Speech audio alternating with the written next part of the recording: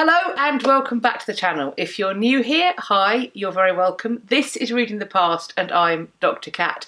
But today, as you can see, I am joined by my very wonderful, very patient, very long suffering husband. Because we took another trip to the cinema, this time to see Mary Queen of Scots. And so we thought we'd sit down and share just what we thought of that film.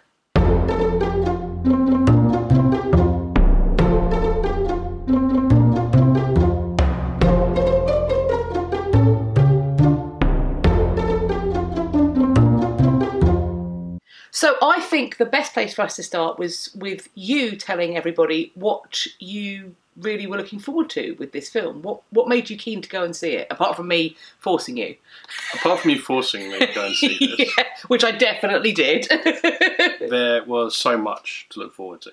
hmm Uh, casting being the very obvious one. Aside from the two leading ladies, who are probably two of the best known names in Hollywood at the moment, Certainly. uh, there were so many names I actually had to make a list.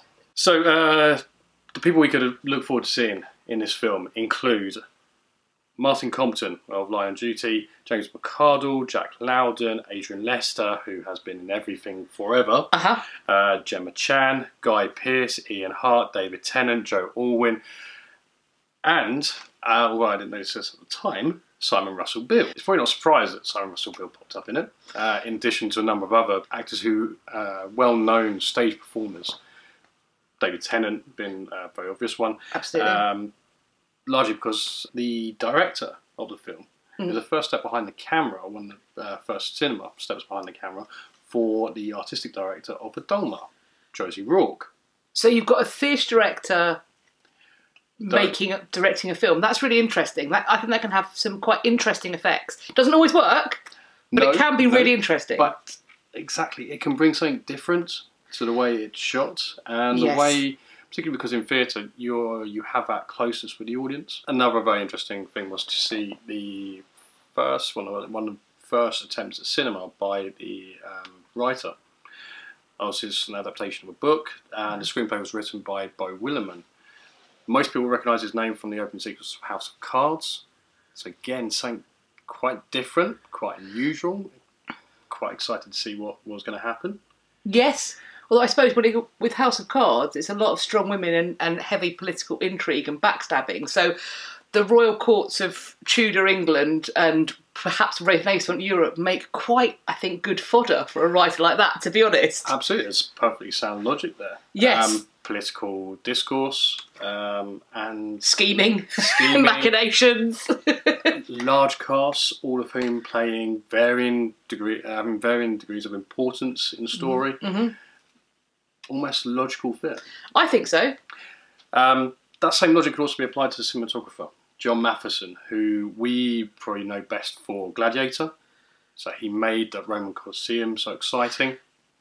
And again, when you think about it, quite a logical fit. Yes, and also when I think about some of the elements of the film where you have what some bits look frankly like an advert for Visit Scotland. Yes. This is a this is a film cinematographer, a filmmaker who loves landscape, who loves buildings and the way they work. So actually Gladiator, when I think about the Colosseum, that then reads quite correctly. I do think there were some odd choices with some cinematography that I'd like you to explain, but carry on with what you were saying. Um, finally, the wardrobe was designed by Alexandra Burke, who we know. Mm-hmm. Not the singer. Not, not the singer. um, we know that she's worked on Guardians of the Galaxy, Doctor Strange, and also um, Thor. Oh, well, perhaps that explains the bloody leather trousers. Again, it's it's an interesting choice to make. Yes. So, well, ultimately, what we can conclude from that is there is a lot of potential there, Ye- and so many different avenues to explore and enjoy. There was one scene which I particularly enjoyed. I think it was the best scene in the whole film.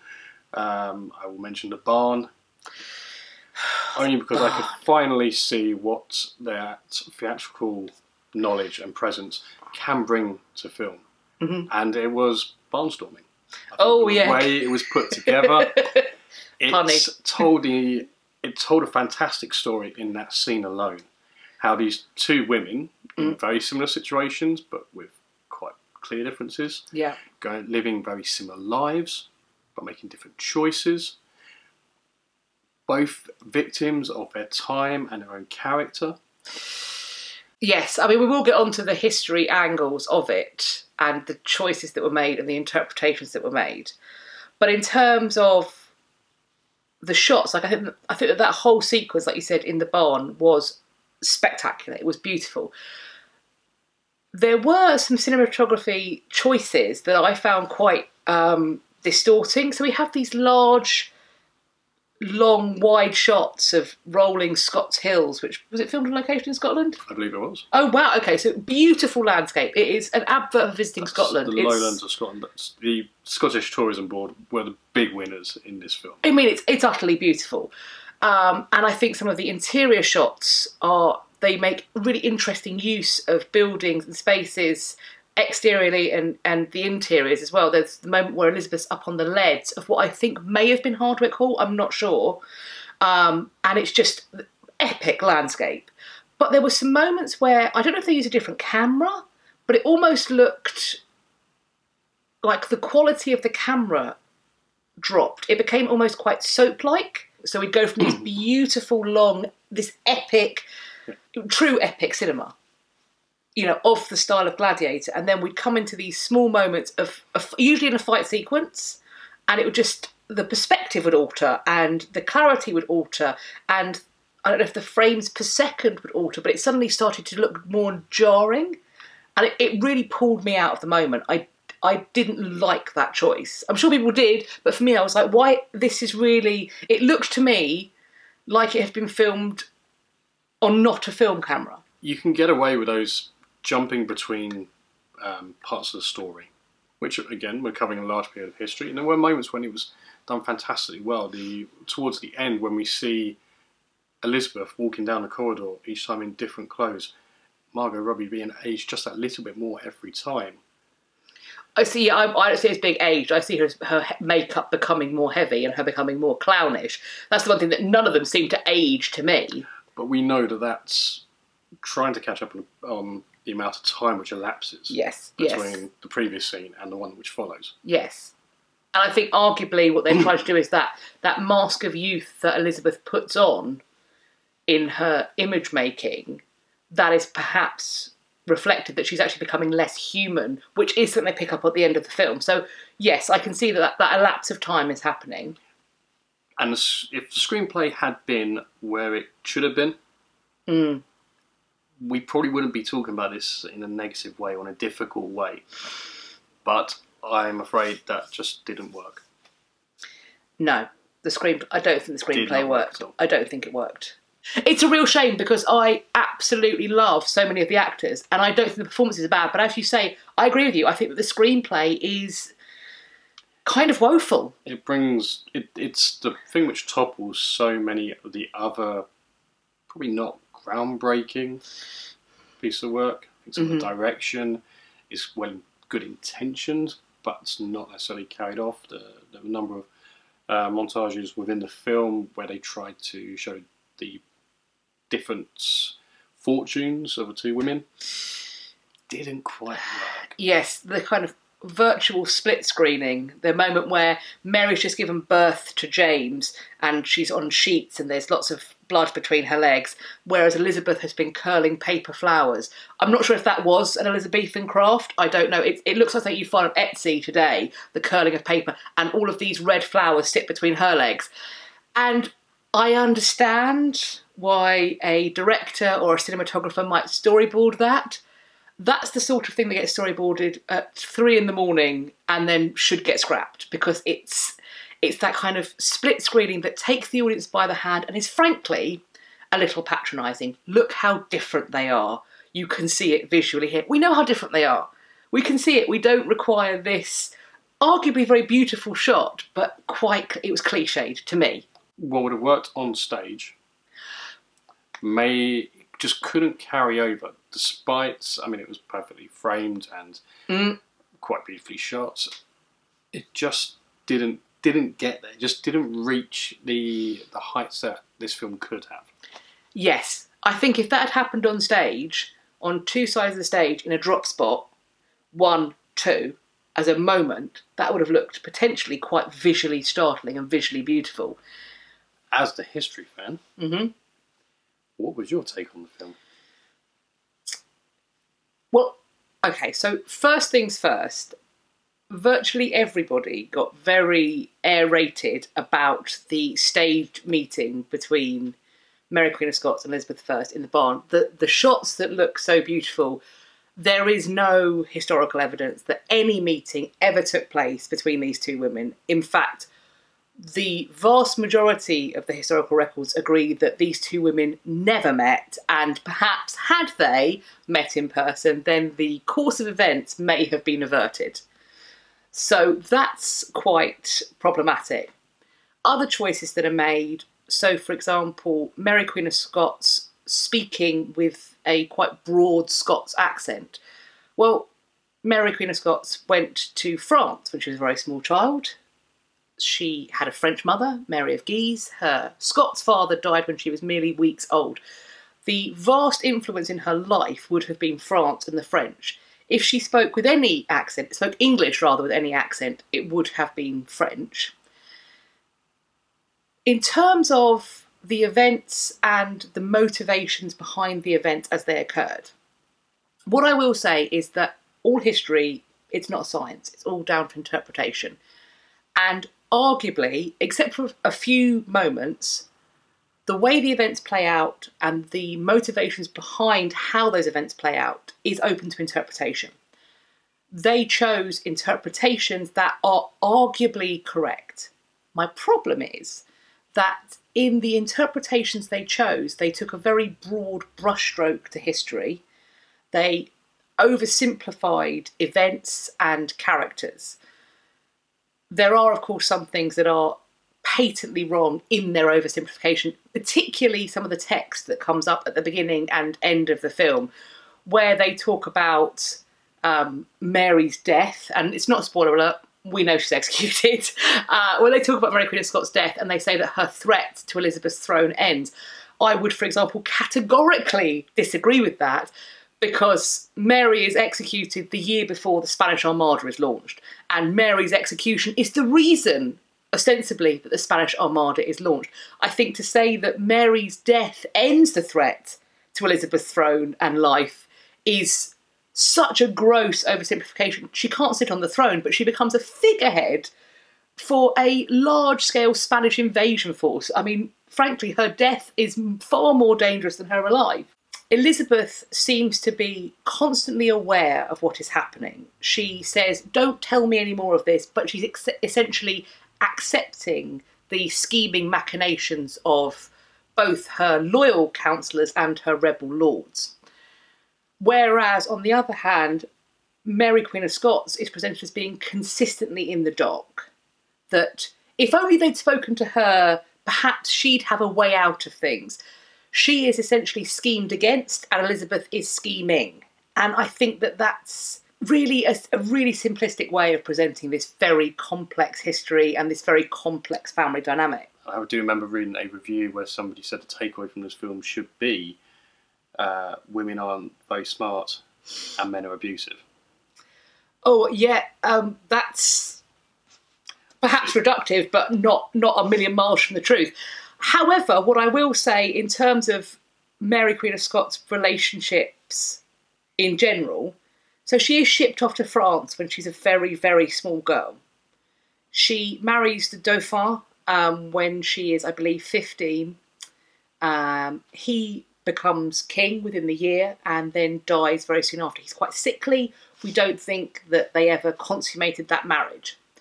She is then shipped back to Scotland she comes back and she is in want of a husband. And so her first husband in Scotland, so after she comes back from being the uh, French king's wife, she ends up married to her first cousin, Lord Darnley. And I've heard it said of Darnley that he is, in many ways, that typical boyfriend that your mother warns you about. He behaves beautifully on the first date. He can act the chivalrous man, but once his feet are under the table, he's a nasty sort. He's a drunk, that we believe. He's power hungry. And I think what Mary saw in him, whether it's the fact that he's a Catholic, that he strengthens the claim of herself and any children they have to the throne of England, whether it's pure physical lust for this wonderful long lad, as he is called, that he's rather beautiful and lovely, whatever motivates her into this relationship, I think she marries in haste and regrets at leisure. That's the way I see it. He then is involved in some way with the death of her dear friend and advisor, Rizzio. Most historians agree that his jealousy motivates the Lords of Scotland to murder, to come into a pregnant Mary's room, rip her dear friend from her arms, he was apparently clinging to her skirt, and brutally stab him in front of her. Now, I think that most women wouldn't enjoy seeing a person that they care about, a dear friend, being stabbed something like 58 times in front of them. But to be have this happen when you are six, seven months pregnant, that must be utterly terrifying. And then, for whatever reason, that marriage ends in explosion and suffocation. Darnley is found the rooms he'd been staying in have blown up and he is smothered. Now, what role Mary has in that is again unclear. But it is presumed that the man who orchestrates it, or who is believed to orchestrate it, then, in some way or another, coerces Mary to marry again. Now, in the film, that has a degree of violence to it. It is most certainly a rape. And that doesn't necessarily deviate from some of the historical interpretation that she is kidnapped and forced into a sexual relationship, becomes pregnant, and is then forced to marry. All of these men have their eyes on a crown. I mean, that's what seems to motivate everybody.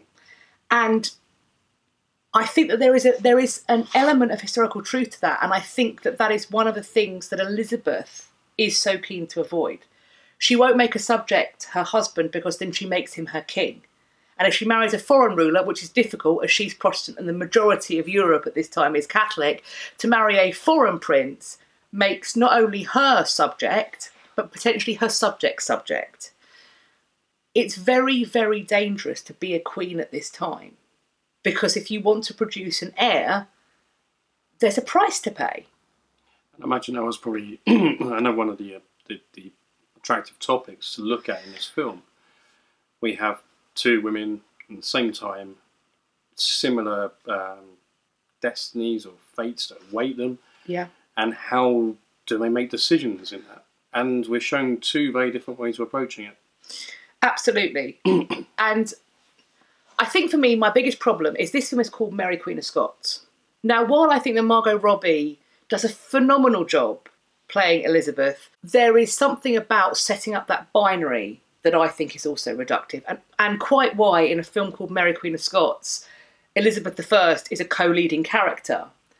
I don't know if it's a case that they didn't trust the story of Mary Queen of Scots to do all of the business, which I think is really a vast underestimation of the power of this character. I mean, I just think that in films about Elizabeth, both Mary Tudor and Mary Stuart, Mary Queen of Scots, are bit part players.